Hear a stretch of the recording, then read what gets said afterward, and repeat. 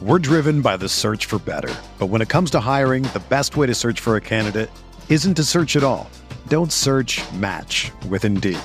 Indeed is your matching and hiring platform with over 350 million global monthly visitors, according to Indeed data, and a matching engine that helps you find quality candidates fast. Ditch the busy work. Use Indeed for scheduling, screening, and messaging so you can connect with candidates faster. Leveraging over 140 million qualifications and preferences every day, Indeed's matching engine is constantly learning from your preferences, so the more you use Indeed, the better it gets.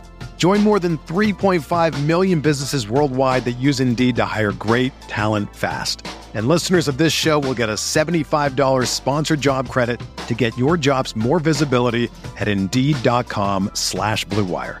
Just go to Indeed.com slash BlueWire right now and support our show by saying that you heard about Indeed on this podcast. That's Indeed.com slash BlueWire. Terms and conditions apply. Need to hire? You need Indeed.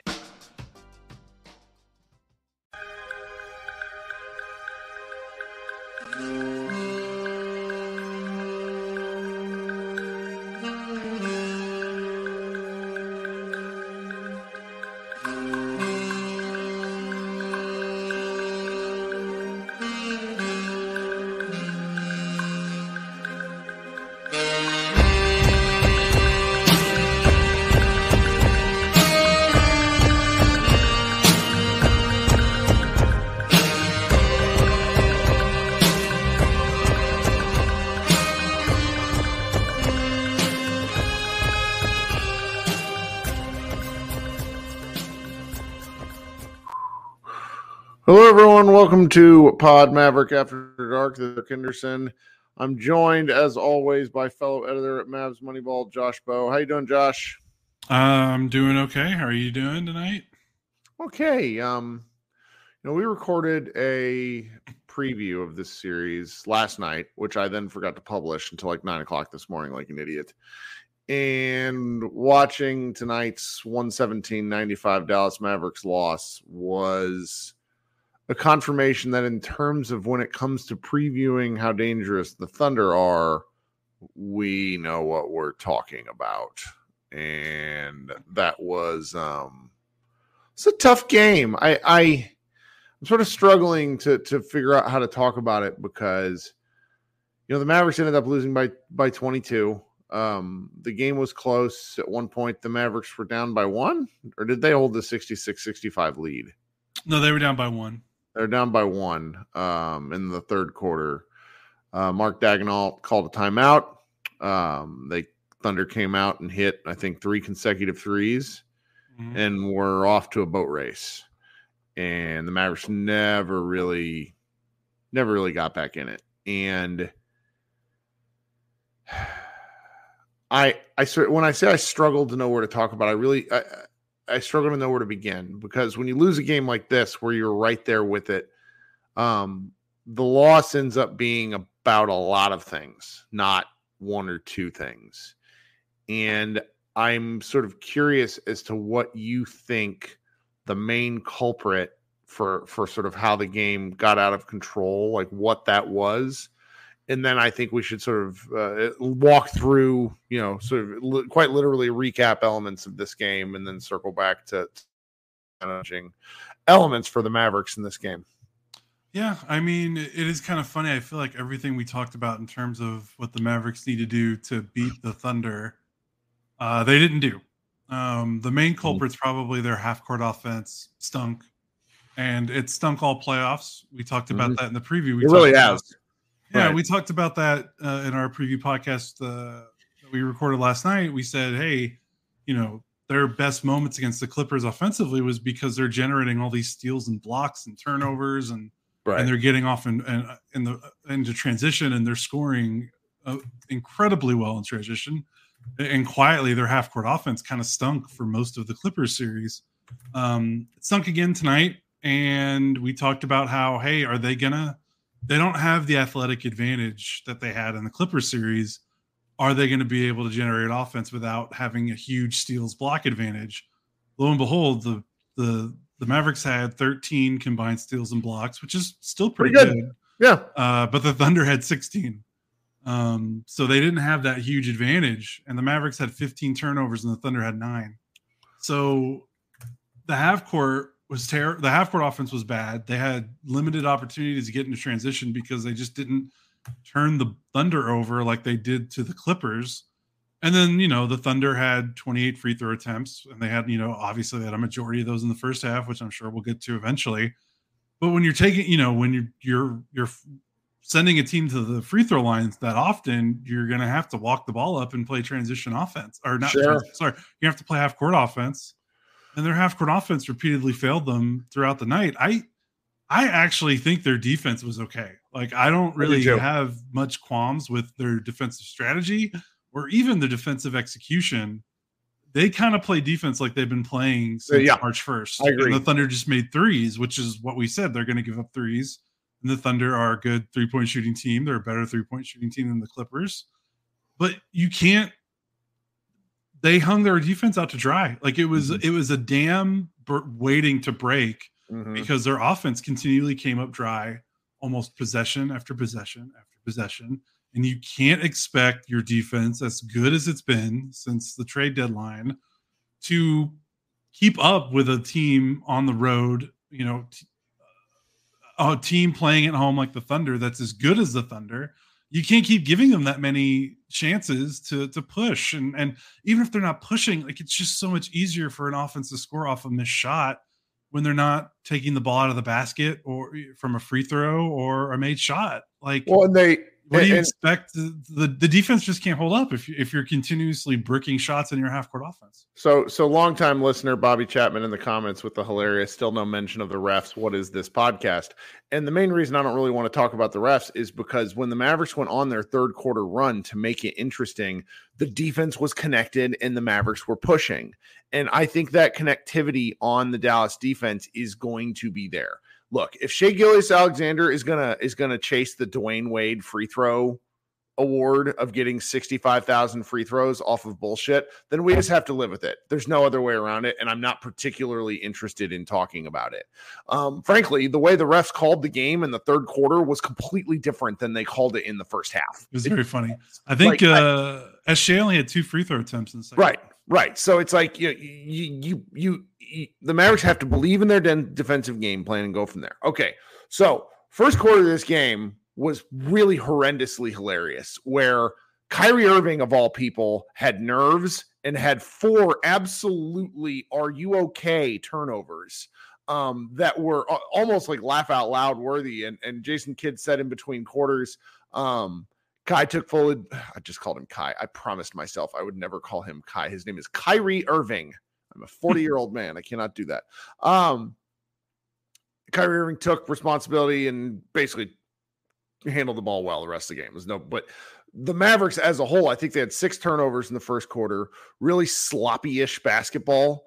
Um, and and the Mavericks sort of just hung around, hung around. They would answer different uh, Oklahoma City runs with runs of their own. And after one, you know, one period of play, I, it, it was tied. It was either tied or yeah, it was tied twenty three all, I think. Yeah. And uh, the Mavericks came out in the second quarter, took a quick lead because of PJ Washington fouls. We had early Tim Hardaway Jr. minutes, which I cannot wait to circle back on later on in this game. Um, shame on you, Jason Kidd. What are the fuck are we doing? Tim Hardaway minutes in in 2024. My God. Um, the game started to get away from Dallas in the second quarter. The fouls uh, were were clearly frustrating everyone. Um, and the Thunder took a double digit lead, but then uh, w- walked into halftime with uh, trailing 60 to 51. Um, in the third quarter, the Mavericks made a made a rally, uh, got within a single point, and then Oklahoma City hit the uh, press the we're going to we're going to hit all our threes button, and Yep.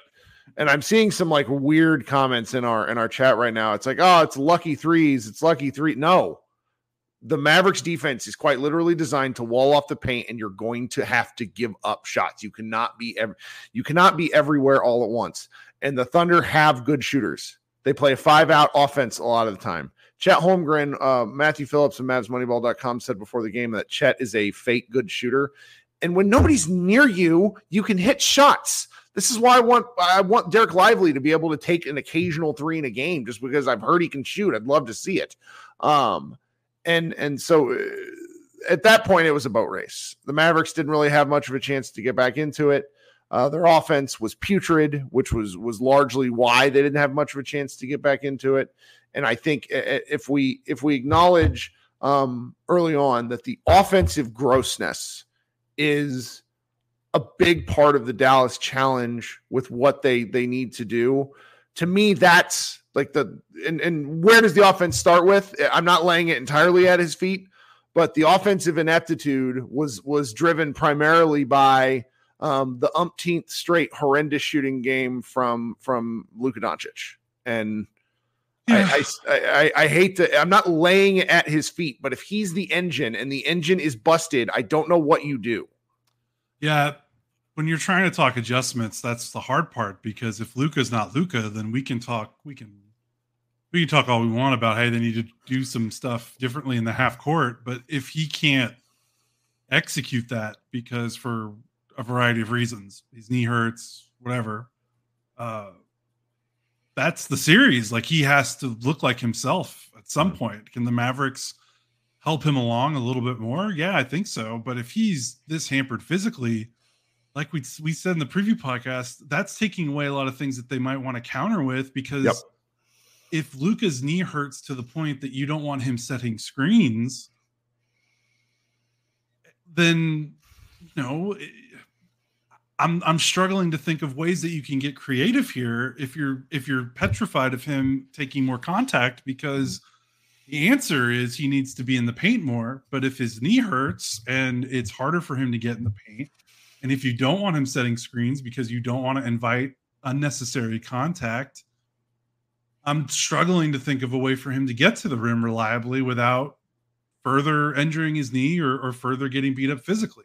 Um, that's the challenge. And, sure. and, that's why he needs to hit threes and he's not hitting threes. And maybe he's not hitting threes because his knee hurts. And it's like, it just makes it hard to talk about because it's, it's clear he's not healthy. Um, and I don't want to make excuses for him necessarily because he's playing. He's played 41 minutes. He averaged 42 and a half minutes in the Clippers series.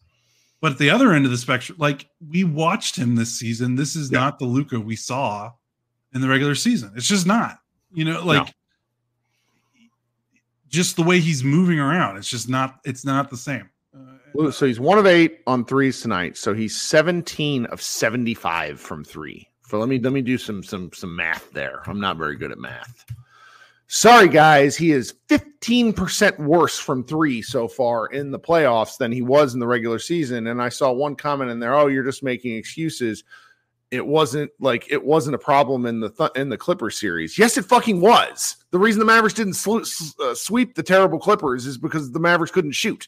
I, I, like that's just a weird comment to make. I, I don't flat out don't understand this. Mm-hmm. And you know, while we're here, just so we can kind of clear this up, I don't disagree with anyone who says, let's have more Kyrie Irving initiated offense. I don't disagree. Problem was he four when you when he has four first quarter turnovers, it's like, uh oh. Well, but not only that, no, that part honestly doesn't bother me. Okay. At what point do we have to acknowledge the fact that Kyrie doesn't want that? I, I'm sorry, like he doesn't do it. We've had 50 plus games of him kind of meandering around the court in the first quarter. That is what he does. I'm not mad at him for it. I've accepted it because he plays great the other three quarters. And, and he's so also the, a good off ball player. Like absolutely, he's, he's, a good absolutely a great off ball off ball player. So it's it's one of these things where it's like Luka needs to let Kyrie do this. No, guys, the Mavericks need to make that decision together, and the Mavericks actually need to implement it. That includes Kyrie coming out and doing it. Really, it really does. And that's not a criticism. That's just something that as a team, they have to want to do. And so while we're here, while we're talking Kyrie and Luka, this is the part that we have you've talked about for six games now.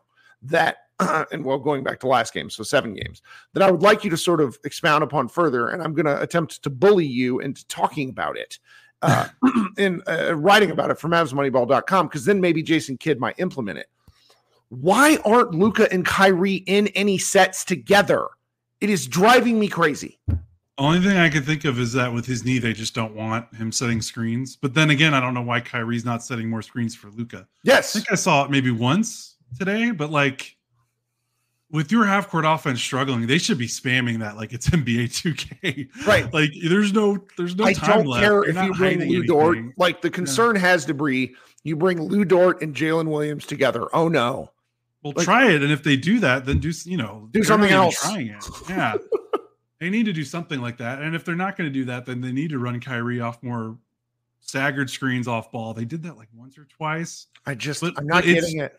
The half court offense is it's it's it's either it's with Luka and Kyrie, so this isn't like a a Luka No, this is a team criticism. thing. Yeah, Yeah. it's it's either Luka, Kyrie, high screen and roll, and they go from there. And it's like no one else is really moving around. Um, the Thunder are totally content with it. There were total, some possessions where they did the thing that we talked about, where they're staying home to shooters, they're staying home to the lob threat, and they're letting Kyrie, Luka work one on one because they just don't want the role players to beat them. Funny enough, I actually thought in that third quarter spurt that the Mavericks got it down to one point lead or one point deficit. They started Mhm. sitting two at Luka. I mean, I'm not like a Thunder fan, you know, I'm- but I'm just like watching the game. I'm like, what are the Thunder doing? Like, Luka was five of 15 from the floor at that point, and they're doubling Luka and letting him Right. make these great passes. And then and they cut the deficit to one, and then they kind of cut that out and they let Luka try to shoot a little bit more.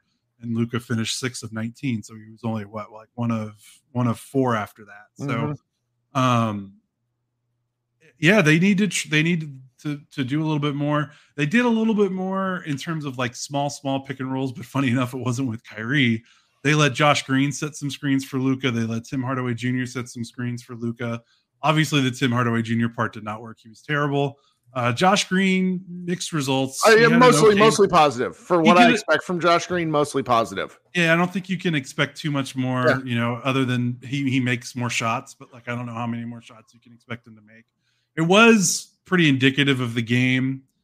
Luka had an all-time pass in this game. I don't know if you remember, uh, I think it was in the third quarter where he was on the left side of the floor and getting doubled, uh, kind of where the three-point line that bends from above the break to the corner, and he was doubled. And I felt like he teleported the ball from there to the weak side corner to Josh Green, who was wide open for a corner three, and he missed it.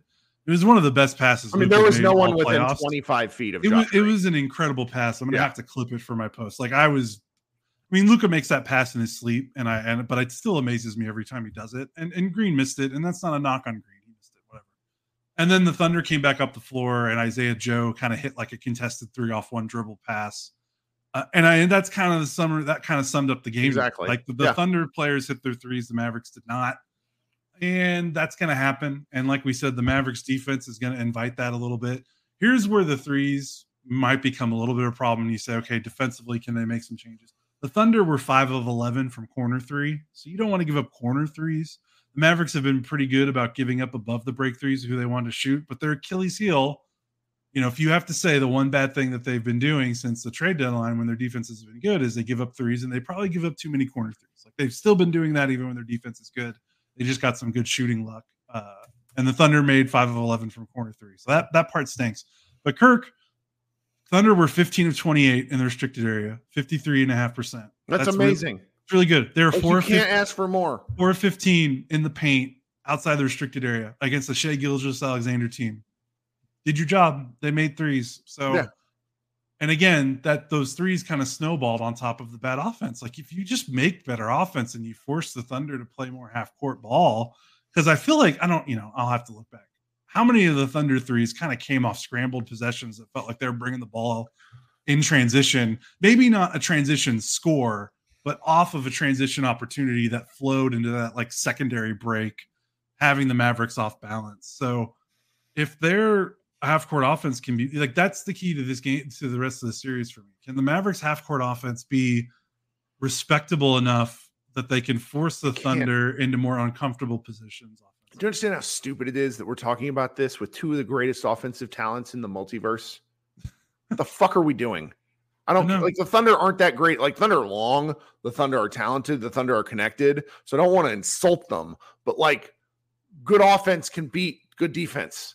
We're not running good offense. This is ugh, this is killing me. Yeah, absolutely. Um, and what and what did we talk? You know, sorry, can I Please, no, I, I sound like a prepubescent boy right now. My voice Did- is cracking. Did you want to go to a break, or can I hit it on another point? Uh, hit on another point, then we'll go to Okay. break. Remember one of the things we talked about about this series It's going to be trouble is the Clippers had a litany of non-threatening players on the offensive side of the ball that the Mavericks totally took advantage of, shading their defense, letting those guys catch the ball open. And then we talked about this record last night. Thunder don't have that many weak spots as the Clippers did. Like they're gonna have their work cut out for them if they're gonna want to shade and help. Uh, you can obviously help off Dort and Giddey, and the and the, the Mavericks did, and those two guys combined for nine points. But Chet Holmgren can hit open shots. Jalen Williams can hit open shots, and they were actually kind of lucky he played so Yeah, poorly he, in the first yeah, half, yeah. where this game could have been over early. Um, obviously is great, but like other Jaylin Williams that comes off the bench, 11 points, he hit his shots. Aaron, Aaron Wiggins, who's been pretty solid for Mhm. for a couple months now. Isaiah Joe, Cason Wallace, like those guys can hit shots, and I I would trust those guys to hit shot. Maybe not at this rate, maybe not 45.7 percent from three, which the Thunder shot, but I would have more confidence in those guys being a little bit more consistent in their shot making than Russell Westbrook, Mason Plumlee, Sure. Terance Mann, Amir Coffey. Like, you know what I'm saying? Like, I'm not saying the Thunder are going to make 45% of their threes this whole series, but they have more consistent shot makers than the Clippers did. So that's going to be a challenge for the Mavericks and how they want to help. And even with that, even with that, they still executed, I think, for the most part, their defensive game plan. They walled off the paint. Shai had a pretty mediocre shooting night for him. Eight of 19 is okay. He hit two threes, which he hadn't hit threes in the first round. Like, I really think that they take this Shai game, you know, and they're going to hope that they get a better whistle, which they probably will. If they don't in game two, they certainly should in game three. But I think they take the Shai game, like uh, shoot, shooting wise, like the Yeah. free Oh, throws suck, but he didn't dominate the ball with his scoring in terms of making shots. Like he just got to the free throw line a bunch in the first half, and then the role players hit shots in the second half. So again, I don't. I, it feels so stupid. The Thunder scored 117 points. They made 16 threes. Just don't have a lot of qualms with the defense. Like I really feel like this was an offense. That's the reason for the loss. Sure. All right. We're a little more than halfway through the pod. Thanks so much for hanging out with us. If you're here, you're uh, watching us live. We record live after every game. If you could do Josh and I a favor, considering hitting the like button on the stream, also subscribing while you're down there, and you can do something within your subscription to actually get notified when Josh and I go live. We record everything live. Why do we record everything live? Because Josh and I have day jobs, and it's a lot easier to just record this up instead of posting something to YouTube. We also do a secondary post game show where you can come uh, fire off your takes, argue with me if you want. Uh, you know, just kind of get those feelings out. Uh, it's either called group therapy or Mavs uh, party, depending on when the Mavericks win. Tonight's going to be a group therapy because we're a little sad that we're lost. Those of you listening on the audio stream, if you could uh, leave us a review, very much appreciate it. Love all the reviews I'm seeing on Spotify and Apple. Very grateful for those. Uh, and if you would like to shoot me an email talking to basketball, I'm pretty easy to find.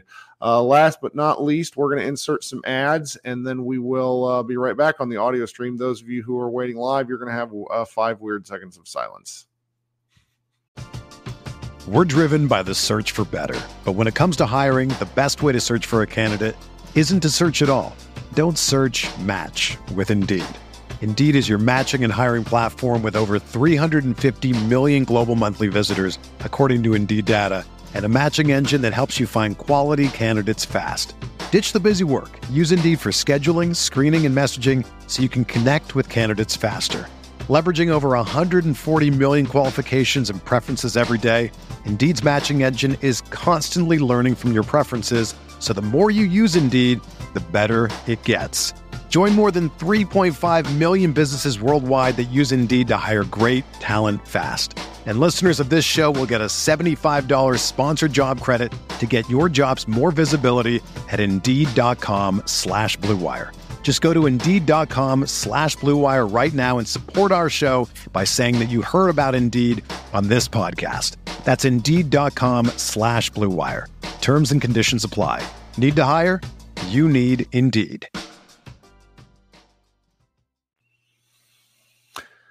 And we're back. Uh, before we kind of kick off the second half of the show, I want to shout out to uh, folks who left us tips along with comments. King, uh, says, "Do you think Jason Kidd pulled the trigger too soon? They were down 12. I honestly don't remember how much they were down, but it was they were down by a little bit more than it was starting they were to down. look. They were down 21, I think, when they pulled all the starters. It was starting to look a little grindy. I mean, Luka missed a bat like Luka missed a really like awful three. It, it, it was just the the flag needed to be waved is the answer. But uh, King, thank you so much for for the tip and for the question. Really appreciate that. Wade uh, shouts us out and he says, "On a bad streak, can't listen again live tonight, but I will listen to you guys tomorrow, even though it's not going to be fun. You boys look sharp as usual. Go Mavs! Yeah, I forgot to comb my hair. I got my ring light, baby. I bust out the upgrade for the It's playoffs. it's that's You what we're here. That's what we're here for. It's it's really exciting. Oh, and then one more tip. Shout out from Small Dog in a sweatshirt. Hate our lack of sets. I like that we have the option to run high pick and roll, but show me some screens and off ball action. We stand so still. Don't disagree, man. Don't disagree. It's not like we need to run a set every time, but we also don't need to run a screen and roll every time. Um, what do we want to go to from here? it sounded like you you were revving up in the first half of the pod about Tim Hardaway Jr. Do I want to just give it's not floor? on Tim. It's not Tim's fault. He's just going into the game. And I get that Dante Exum is is a pumpkin, but Exum is why you won games for a significant portion of the season. And you play that man three minutes? Like, what does Tim bring right now? I don't understand it. He was awful. He wasn't the reason they were bad, but it's just like one for five in 17 minutes, all four horrendous misses from the three point line. We're talking trebuchet style things where it looks like it's going to, you know, hurt one of the Oklahoma City Thunder fans. I just, I don't get that.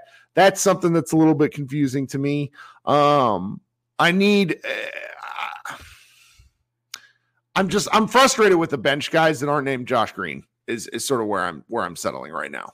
How many times have you said that in your life? I know. I mean, Josh came in and did what he was asked to do. The moment was a little too big for him on some of these wide open threes. I mean, frankly, it feels like Josh shoots the, the ball better when he's contested. Um, as stupid as that sounds.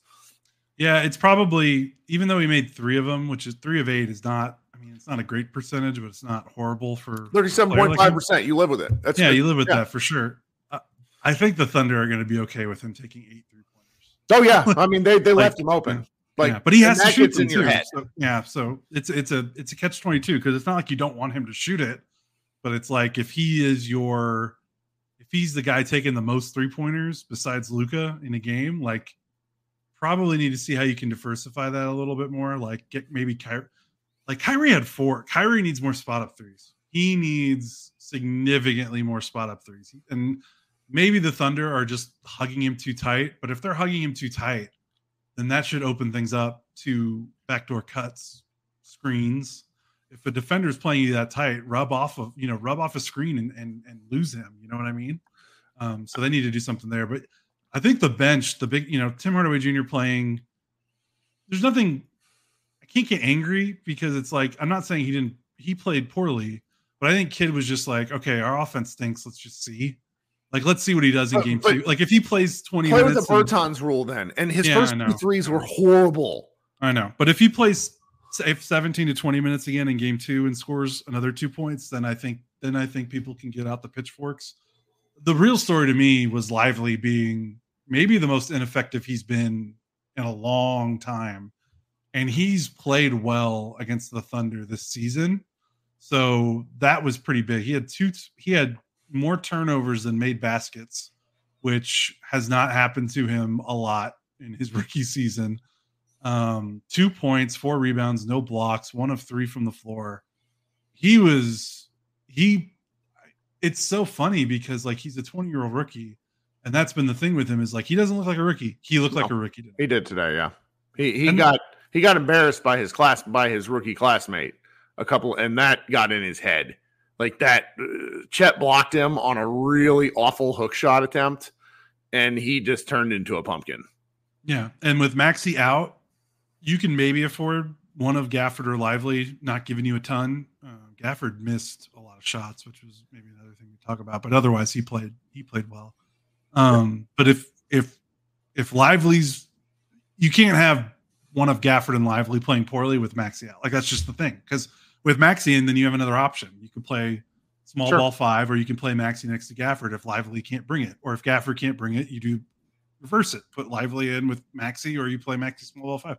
With Lively playing poorly with Maxi out, there's just they don't. That's it, right? They don't have any options they can turn to besides playing Gafford a lot of minutes. Um, and I don't know if that's necessarily the answer, even though he, I thought he did some good things. Like it's just they need both of those guys to play well. They're a two, they're a tandem. They're a two-headed monster. And the Mavericks have had, I think, their most success this season when they're both playing well. Um, Mhm. And they don't have the security blanket of Maxi if one of them isn't. So I thought that was very noticeable. He had he had zero. Not only did he not have much of an impact on the game, I mean, he had negative like single game plus minus. I'm sorry, I don't even really want to reference it. His was his was pretty minus. He I felt every bit of his negative plus minus. Like he he it was just a rough game for him. Not his fault. Like it's, he's a rookie. It's going to happen, but Sure. that's that's going to cost them in this series. Yeah. The the fouls seem to also bother him. He had one. he got on a real help. frustrated. He got because it was it was the kind of and you know Mhm. this is I understand why. Yeah, there was Lively's was pretty big on the defense against the Clippers because they're letting I frankly thought they let him get away with a lot against Los Angeles. And he met somebody in the rim Mhm. at the rim in the second quarter for the kind of thing where I'm just like, they haven't called that a foul all playoffs. No, And it was just, it was like, oh, okay. just quick whistle, like one of those, like, because the, the Mavericks had a six, like probably like seven, eight possessions out of like 10 or 12 where they got called for fouls in that second quarter. And he just, that really sapped his aggressiveness. I was, I was very surprised by it. yeah, yeah. They, they gotta, you know, this is just a dust it off, shake it off, try to play better in the next game for him. Mm-hmm. Um, yeah, there's not, not much more to say. But Can I be petty? I want to be petty. Okay.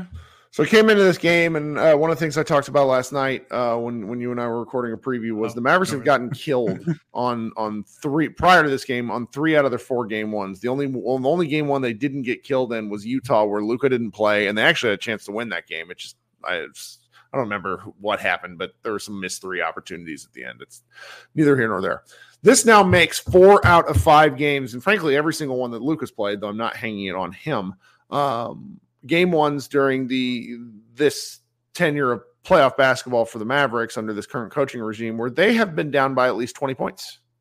Um, I don't know what to do about that because when you're on the road on every single game one, you're quite literally not supposed to win. Like you're always on, you're always the uh, the underdog. On the flip side, I just don't like getting the shit kicked out of me. You know? So so it's like, am I, I making too much out of this? Where where? T- tell me if I'm Can wrong. I- I'm, I'm fine if, if I'm being ridiculous Can, about this. can I be a coward and say you're both both both sides are right? Can I be a coward centrist and say I understand why you're mad because you're a fan. You should be. The Mavericks just got dump trucked on national TV in a playoff game. Like why people should be mad? Like you're a fan. Like that's part of the fan experience. Like get mad. Like your team looked crappy on national TV in, in the first game of a, of a of a playoff series. Like what you're gonna get mad. But also I understand the other side of it where it's like, yeah, game one. If you're always playing game one on the road, you're probably not gonna win a lot of them. So and the series isn't over. Thunder got to get three more. You still haven't played a home game yet, so you know I get both sides of it. I, I'm going to take the coward, the cowards right there, because I think a big thing we both talk about is like we we're trying. You know, I don't always follow this rule, and I admit it. I'm trying to be better, but not telling people how to fan. And Yeah. you know, sometimes I get ba- I'm bad about it because sometimes I'll tell people not to get mad, and uh, that's you know you're allowed to get mad. Like you, it's an emotional game. The whole fandom is short for fanatic or whatever. Like it's part of fandom. Like you're gonna get a little irrational every now and then. Like to ask a fan to just be, oh, just be like, oh, well, I'm calm, cool, and collected. Like it's okay. There's more. This series isn't over yet. Like there's Yeah. time for that. But right after a game, you could be pissed off. So I'm I'm just trying to be better about that. No, I and I think I think I'll wake up tomorrow, and really by the time I make it through group therapy, I, I like the Mavericks' defensive game plan. And when Yeah. you come down to like, okay, the Mavericks need to play better on offense, I don't find myself frustrated with Coach Kidd on that. I do wish that he would make them call. Like I, I specifically, I'm since I'm such a shit. I texted Tim Cato and I said, you need to ask this question if you get called upon. Why aren't they running any Luka Kyrie actions? I want to know. There's not a good answer for it other than the fact it feels like they fucking forgot. Yeah, because the only thing I've I know I've said it like a billion times, but the only thing I think of is they just don't want Luka's setting screens screens with his knee messed up. But again, okay, but why isn't Kyrie setting screens? All right, go ahead. What did you? You just reminded me of something. So um Grant uh kept talking Oh, about this during the, moving game. screens. Not well, yeah. Luka was Well, hanging. pause. This was eh, like if you want to make a real criticism of Luka beyond the shooting, he was not using his screens appropriately tonight. What a wild, weird thing to say about Luka Doncic, right? But he was Yeah. right. Like, like you watched the replay, and like there were three offensive fouls called because Luka got sped up. Like that's how you can tell Luka's having a, a rough game. That the guy who moves at his own pace was moving too quick. Anyway, sorry, I just thought of that. No, no, you're you're right. I mean that that's a good way to kind of encompass like how like it's just off. Like it's just not it's Yeah. not right, you know? And we've watched him we've watched we've literally watched every single game that this guy has played in the NBA. Uh, and we talk about him extensively every single time because he is the fulcrum, he's the engine. He doesn't look like himself, and he's never I can't remember the last time I've seen him play this many games consecutively, shooting this poorly. Yeah. Now, I said shooting this poorly because he has had moments in these playoffs where he has done other things Yes, uh, to compensate. Um, tonight was not, you know, tonight wasn't one. He had five No. turnovers. He made a couple good passes. His Yeah. defense was. Had well, because they weren't they bys, weren't but- pushing the ball. He wasn't able Yeah. to do what they did in Game Six against the Clippers, where he was getting into the teeth of the defense early in the shot clock because they were they were running after after because misses. they and, because they were turning over the That's right. Clippers a bunch. The Thunder only had nine Yeah. turnovers for the game. So yeah, so it's a different it's a different deal there. Um, But I have you ever? We've never seen him shoot like that. Like so, this is seven. I thought the shots looked a little better tonight. Is that stupid? Is that wishful thinking? Did he do? Can I? He didn't me- short arm like he was short against the Clippers, and that was driving me crazy. once again, this trend continues. He was three of five from mid range, so his mid range jumper has just been significant. He was bad close though today. He missed some bunnies in the key. Yeah, oh four in the paint outside the restricted area. Two of two at the rim, but only two of two at the rim. Only two attempts at the rim. Like, remember in 2020 when he, he would like average like seven or eight shots at the rim, like every. I mean, game? earlier this year, his like his uh, Kevin O'Connor put, shared some stat around the 40 game mark where he was like leading the league. He was ahead of Giannis, I think, in terms of in, like- in efficiency, but not attempts. yeah, This Yeah. is he was career low in share of shots at the rim this year. Yeah. Um, but that was okay because he comp- he was hitting 38% of his threes, which was okay. That's totally fine. Like, but now he's not hitting his threes and he's still not getting to the rim more. It's like, I don't know. It's just they can maybe drum some stuff up a little bit better, but sure. I need to see we need to see more Derrick Jones Jr. backdoor cuts, more PJ Washington backs. Like those guys aren't doing like I mean, we're watching those no one's moving. Like if it's not Luka or and the big man setting the screen, everyone's standing. And it's just kind of the worst of the Mavericks half court habits uh, that we've seen over the last like five years. Sure.